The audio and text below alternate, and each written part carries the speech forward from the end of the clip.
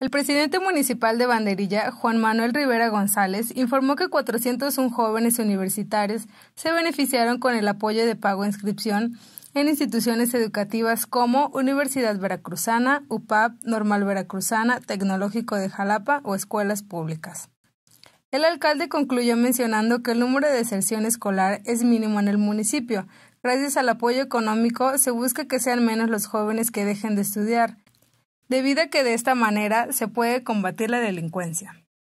Jóvenes, yo quiero ser muy breve, pero sí conciso. La verdad es que siempre es importante eh, pues hacerles saber las cosas. El día de hoy son 401 beneficiados, eh, alumnos que van a recibir la recuperación de su cuota de inscripción.